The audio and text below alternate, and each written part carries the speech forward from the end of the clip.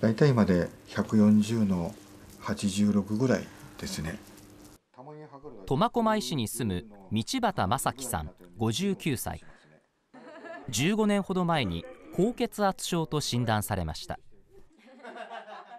たまたまあの体育館に行ってあの自動血圧計ってありますよね。あれで測ったら上が180超えてたんですねあれ俺って高血圧？と思ってね。他の症状とかもなかったんですか？血圧高くて何かっていうのは全くなかったですからね。父親を心筋梗塞で亡くし母親も脳梗塞で倒れました。2人とも高血圧でした。高血圧の人は全国で4300万人と推計されています65歳以上の高齢者では半数以上が高血圧です。若い世代も人事ではありません。血圧は30代から上がり始めるのです。血圧が上がって症状出るまで普通でも早くても10年。あるいは20年30年かかって初めて症状が出てくる。だから高血圧はサイレントキラーってよく言われてるんですよ。悪化すれば突然脳梗塞や心筋梗塞などの合併症を引き起こす高血圧。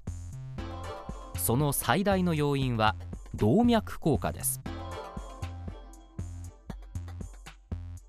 普段私たちの体では心臓が血液を押し出した時血液のおよそ40%が太い動脈にたまります。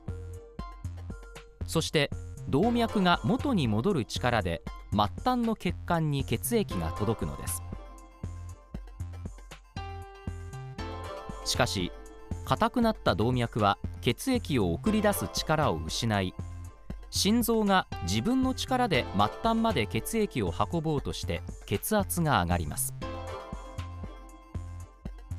高い血管を障害する。そうするとまた血圧が上がりやすい。完全にここで血圧上昇と血管損傷動脈硬化は悪循環を作っている。血圧が上がると血管の壁の中にコレステロールが入りやすくなります。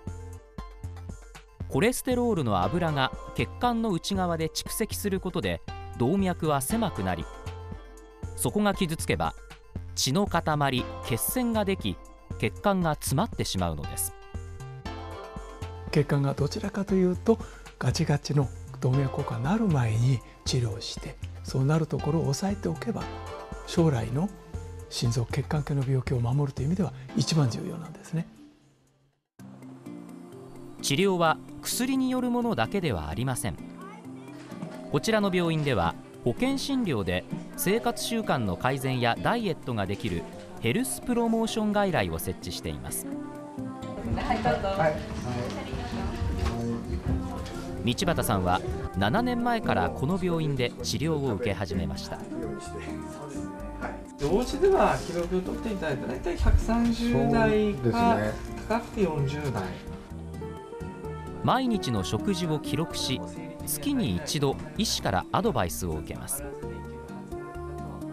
種類があると気持ちが満足する分量に頼らないですのでぜひここから先も少し種類を増やす分1個ずつの量は減らして。通い始めて2年で体重を1 0キロ減らしそれを維持しています。すると血圧も上がらなくなりました。運動はしてないよね。うん。あの今流行りの筋トレも全くしてないですし変えたのは食習慣だけです。家族の協力を得て毎食必ず野菜をとりできるだけ多品目少量ずつの定食スタイルの食事をしています。僕はまあ3%程度。3%っていうと体重50キロの人が5 3 1 5キロですか。ら70キロなら明日2キロぐらいですか。それぐらい減るだけでも大体5から10ぐらいが下がることが多いです。45の100いいですね。ありがとうございますこちらの男性は9月からヘルスプロモーション外来に通い始めました。ありがとうございます。今日もそうですが体重が1 9 9キロ減りました。2ヶ月少々ですね、2ヶ月半。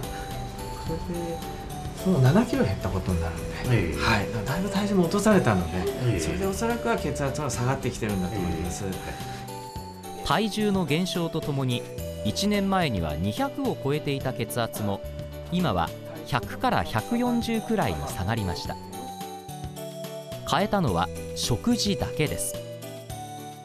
丼や麺類などの一品物をやめいろいろなおかずを食べるようにしました。今回からできれば薬をちょっと減らした方がいいですね。あはい。で将来的にはまだ若干まだ多いは多いので、ええ。体重もええ。もうゼロにできるようにちょっと頑張っていくというのはできるといいと思います。これまで2つ飲んでいた血圧を下げる薬を1つに減らすことができました。本当にこれは一生飲む薬だぞって言われてたもんですから、うん、まあこういう結果が出たということはやっぱり良かったなというふうに思いますよね。いい習慣を自分で身につけなくちゃいけないわけですから。で身につけるためには時間がかかるんです。ちょっとでも変えてそれに慣れていくこと。慣れた結果が習慣なわけですから。それを続けるっていうのはすごく大きな意味があると思います。はい、今お話ししてました苫小牧北西クリニックの島野先生なんですが、はい。ご自身も運動しないで食事改善だけで20キロ痩せたんです、えすごい。ねえやっぱり何をこうどのぐらいどのように食べるかっていうのは本当に大事なんだなと思いますし、うん。今 VTR にもありましたけども薬が減るっていうのは本当に嬉しいですよね。ねえまあ、野菜を多くして多品目少量ずつにすると総カロリーも塩分の摂取量これ両方とも自然に減るんですって。へで高血圧というのは中年だけの問題ではなくてですね若いからといって安心はできないんですね、まあ、高血圧の予備軍といえます肥満この割合が20代から40代の男性で非常に増えています。ここから高血圧患者になっていく可能性というのが非常に高いんですって、はい。そのため年齢が若いうちから血圧を気にして早めに発見をして生活の改善をするということが必要になります。さらにこんな危険な高血圧もあるんです。私もこれ初めて知ったんですが仮面高血圧っていうんですって。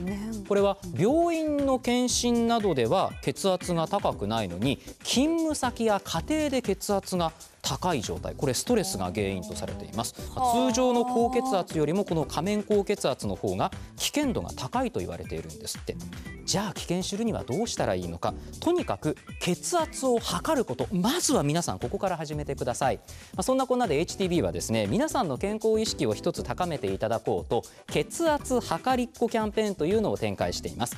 HTB のロビーにこのようにどなたでも使える血圧計を設置していますのでお勤め時間の昼休み通勤の合間、まあ、買い物の合間にもぜひ血圧を測ってみてください、まあ、薬を飲まなくても生活の習慣の改善だけで血圧が下がるということも早期発見では可能になりますのでぜひ試してみてください。